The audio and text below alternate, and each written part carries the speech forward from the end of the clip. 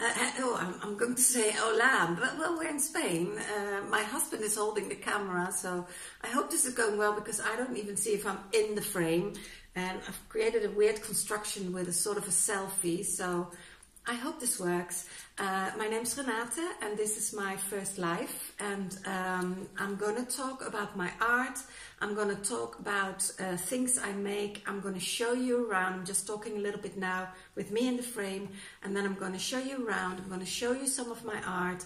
I'm going to tell you how I do things. I will also talk about uh, some art classes that I um, uh, uh, conduct uh, both online and in my studio. At the moment, the focus is online and it really, really works well. And I can, I promise you, I can get the creativeness out of you. Anybody can paint. I know that is to be true from experience because I've been an, uh, a teacher, art teacher for since 2006 really.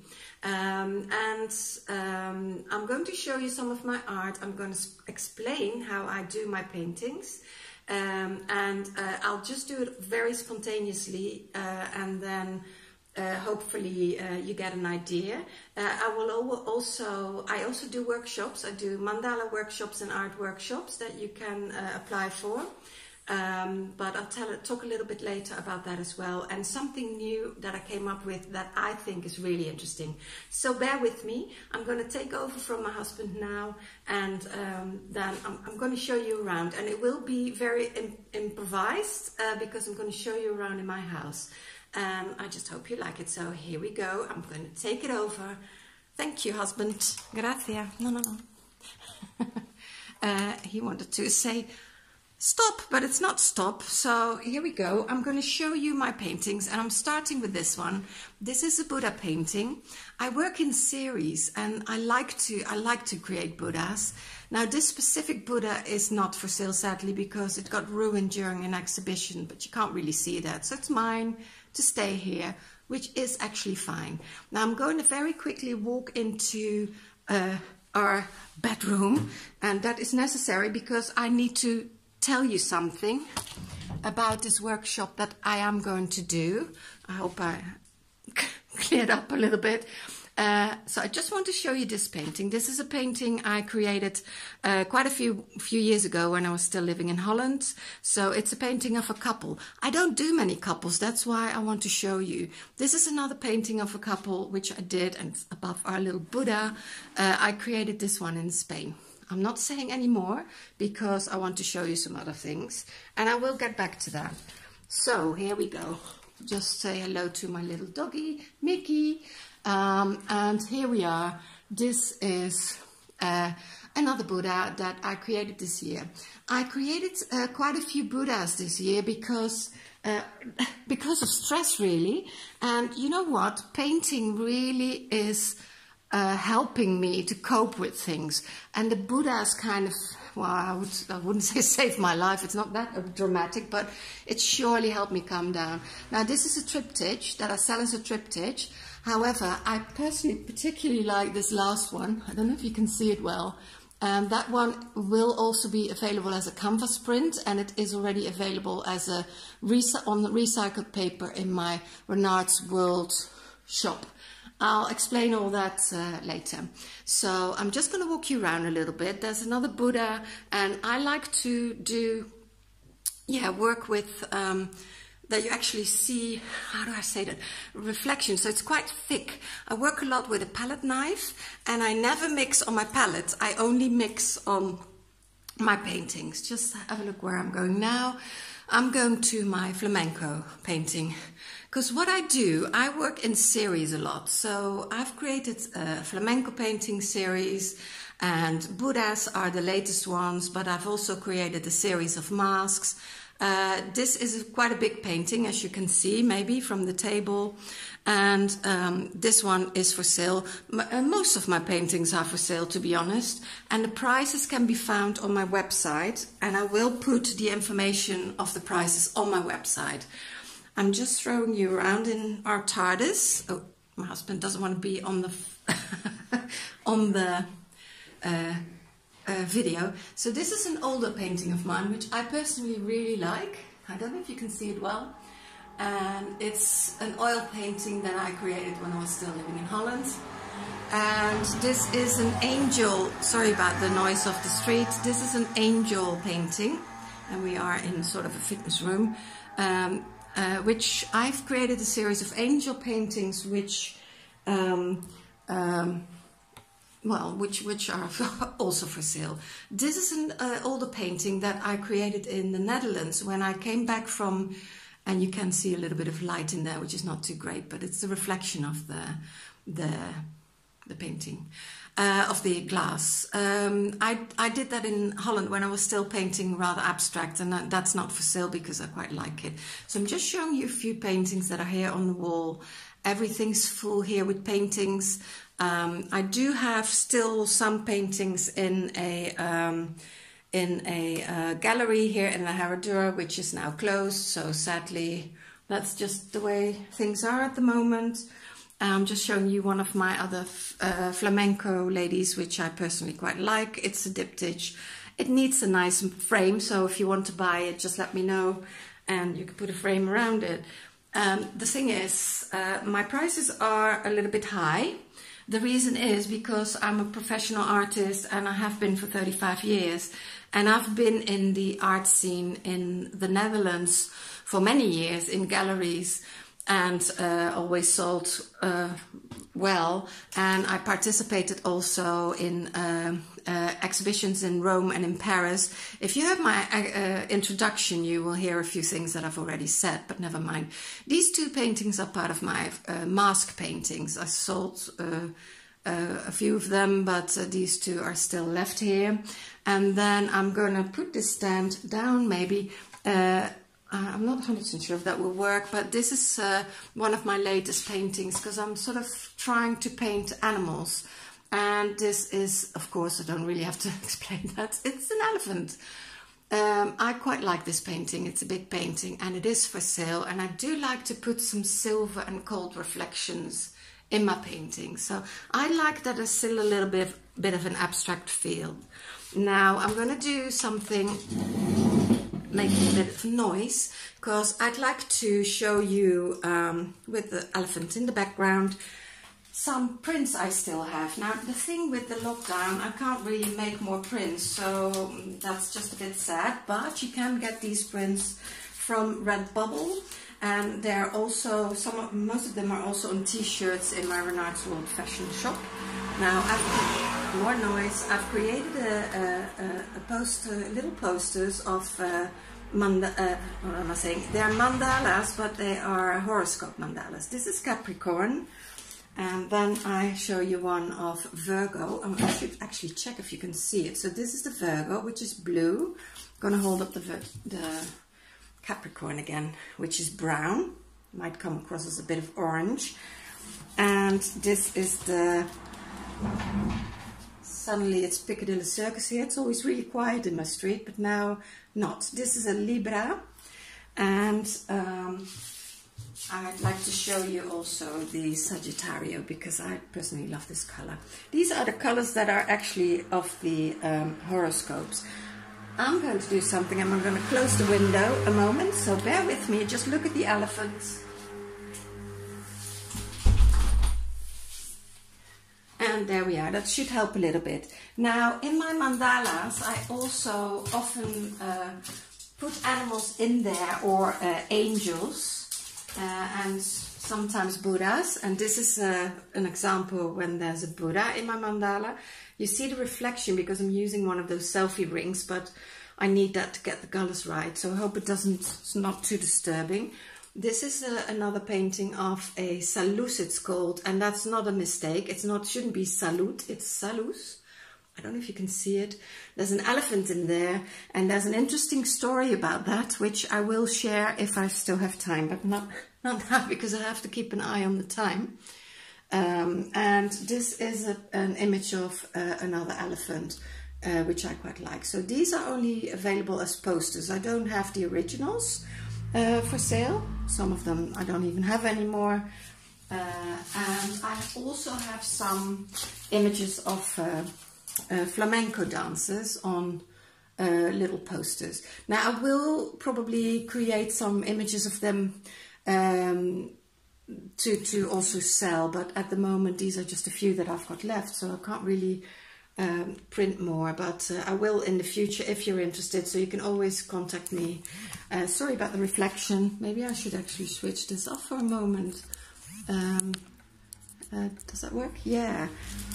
It should be a little bit better, but you can probably still see a bit of a reflection. Now, as I also said in my introduction, I've created a set of oracle cards, angel oracle cards, and I'm calling these me moment angel cards. And uh, this is to have a moment with yourself. And I'm just quite quickly show you a few images, just so you have an idea. And on the back of the card, there's always three or four poppies in each card. And this is Ezra. And uh, then there is a reason. Oh, sorry, I didn't even show that correctly. This is Ezra and the three poppies and sunflower. And then on the back, there's first a reason why you picked the card intuitively. And then there is uh, an explanation, or not an explanation, it's a suggestion for a me moment. Um, and um, all the cards have that. So I'm just showing you a few more images. So just for you to get an idea about the cards. And as you can see, they're not the normal, often these angel cards are really beautifully painted, by the way, but I wanted a little bit quirky, a little bit more fun, to be honest, but I still sort of channeled them, if you, uh, well, I should say if you believe that, I believe it. Um, it just came to me and then I just painted these and I personally quite like that. Uh, this one maybe I'd like to share because I'm showing some of my favorite ones. Uh, I've got a sort of Tai Chi kind of uh, uh, person. She's got a little bit of a see-through dress, because angels can have see-through dresses, can't they? And uh, then this is one that I also quite like, sort of a fallen angel, but uh, falling is not bad because you can always get up again. And this is Belle, which is also one of my favorites paintings. Now, in my painting classes, I do allow people to copy from my work and I then guide them, but there's several things I can do. Um, and um, uh, yeah, with, with the experience I have, I know for a fact that everybody can paint and find their own style. But I'm still going to continue my little tour around the house for the paintings. Now, this is still part of my um, uh, flamenco paintings and I'm to switch the light back on. Uh, yeah, and because you can see then that it's a little bit glittery. I do that with some of my paintings, not all, but I quite like that. So you, you don't always see that. It depends where you have it and whether the light falls on it in a certain way. And uh, this is my uh, Toro in La Herradura painting. So it's a bull in La Herradura. I don't know if you can see it well. And it's actually the, the Punta uh, de Cerro Gordo. And people who live in La Herradura will know that. If you don't live in La Herradura, you won't know that. This painting is also for sale. Well, all these paintings I'm showing you are for sale. This is another flamenco paintings. It's a little bit smaller. It's in a nice frame and uh, this is actually an oil painting. Uh, the one on the left is a, is a acrylic painting. So now I'm going to walk, walk you through a little passageway and explain along the way and I hope the light is okay. But these are two paintings I'm going to show you. This one and another one. Uh, I've painted these in Italy when I lived there and that's already 25 years or I don't know, very long time ago.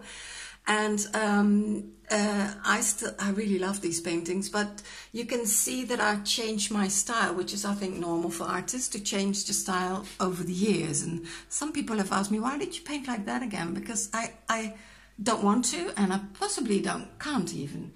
Anyway, this is uh, one that I did here while I was in Herradura. There was a symposium of international artists in the Ayuntamiento, and I was invited to be part of that. And we had to paint live, so the audience could come in and see us paint, which I don't like, but I created it anyway, and I've used this painting for the cover of one of my books. I always use my paintings for the colors, uh, the, for my for the covers of my books. I always use paintings. Now this is a mandala. I love mandalas, and I also offer. Uh, well, first of all, I offer mandala workshops, and I'm soon to organize one for the Costa women Uh, and this is a mandala. And what I really like is to add things a little bit hidden in there. So there's an elephant in there as well. I don't know if you can see it. And I use this uh, uh, three-dimensional paint for the uh, lines outside. And mandalas don't have to be perfect. It is, I think, uh, the perfection in the imperfection. Um, and I can teach you how to do that. So, and I also do personalized mandalas. So if you want a mandala for your office or your house, and you want some special symbolism in there or names or something like that, I can do that in the color of your choice. This is a painting called, well, it's actually the the, the third eye uh, chakra. I'm having it very close on time. It's the third eye chakra because I made a, a series of chakra women and mandala women, I call them. And uh, these, uh, I still got three paintings here that are for sale. And each painting has two sailing boats and water and a red moon, which I also need to explain at some point if I have time. And if not, that will be in another video.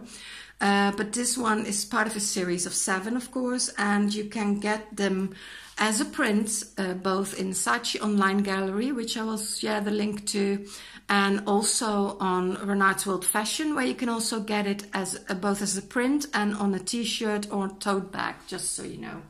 Now, the next painting I'd like to show you is, and this will be the reflection again of the light, and I hope you can't still can see it a little bit. So I have to hold it maybe like this so it's not too bothering because it's actually one of my favorite paintings. It's an angel and it does have a little bit of glitter in it, but it's behind glass so you can't really see that very well. Uh, but it's it's a beautiful painting, I think, and it's for sale. Uh, then uh, another Buddha that was in my other introduction video, but you couldn't really see that well um, because of the light of my new camera on my laptop. It eats all the light. Very sharp, but it eats all the light. This is another one of my chakra women, and this is the crown chakra um, in the color of the crown chakra. And as you can see, they're quite sensual because, um, yeah, I do paint sensual women.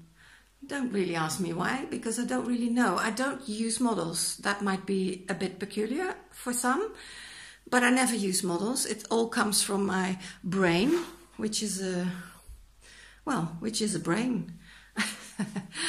anyway, last uh, uh, chakra painting is um, uh, the base chakra, and uh, that's red, of course. So I don't know if you can see it well because it deforms a little bit.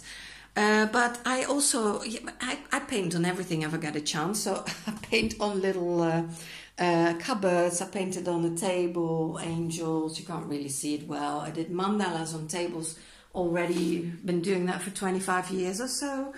Um, it's a little bit of a weird video, isn't it? But um, I also do these, uh, uh, which I also showed in my introduction. I do these surrender bowls and they're ceramic and they are, um, I give them all a special name. They're quite small, uh, but I think they're really special.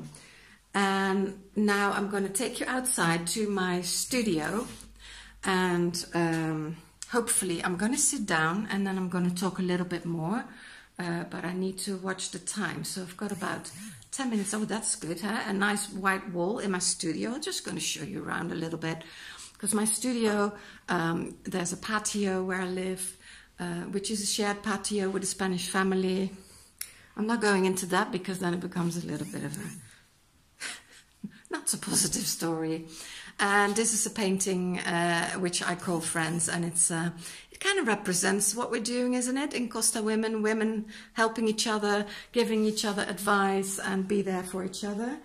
Well, I, I think that's the idea anyway. So now I have to somehow watch the time, which I don't know how to do that because, um, but I'm just going to sit down and, and just not bother about it too much. And then I hope you can see me. So this is what I'm going to do. And I want to show you this painting uh, because it's a painting I used for one of my books. And here I am, I hope. Maybe you don't see me. Um, but it's a book called uh, Cheers, and it's about partners of uh, uh, who've lived, people who've lived with an alcoholic or children, could be children, partners, friends. But I interviewed people for that, and also I interviewed alcoholics and um, uh, people in the in the in the field, and I wrote written their story with their permi- permission anonymously. In but it's in the first person, so they're real stories. But there's also tips where to go for help.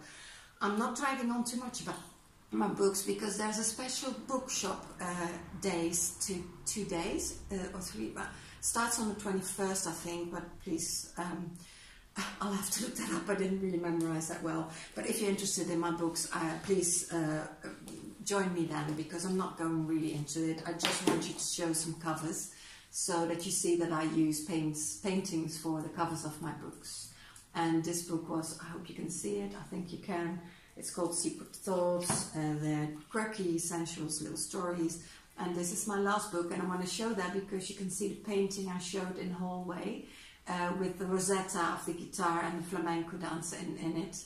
And my flamenco dancers are not necessarily dancing all the time. Yeah, you don't know why, but that's just the way it is. And by the way, these are quirky stories of my life here in Spain, things that really happened since 2003. So the painting at the back is called Cheers. I'm going to show you something I always do. When I start a painting, I like to make a background first. So I just do a random background and then I build them up. Uh, these I, have got a lot of tips to share with you when uh, I do my art classes or my workshops. And um, I've done it now uh, since April. I've got a really nice group of women coming to my class on Saturday morning. Uh, they're part of a Facebook group called uh, Sil uh, the Silver Tent, and I created that class especially for that group. So you could join, but you have to be over 50, so you've got to be old like me. Um, then you can join, and uh, then you get uh, a discount as well for those classes. And it's two hours on a Saturday morning. However, if you're young and you want to paint and you want me to help you, um, I do offer art classes. I'm going to pick a day, but maybe people can give me some feedback about what days or times would really suit you. I do have a Wednesday morning art class in my studio, and um, two, uh, sometimes three ladies come every now and then um, because they work for uh, Canta Lobo and they live here in the, the well, anyway, that doesn't really matter who they are, they like to come to my class and they've been coming for a long time, so we can have sufficient uh, distance.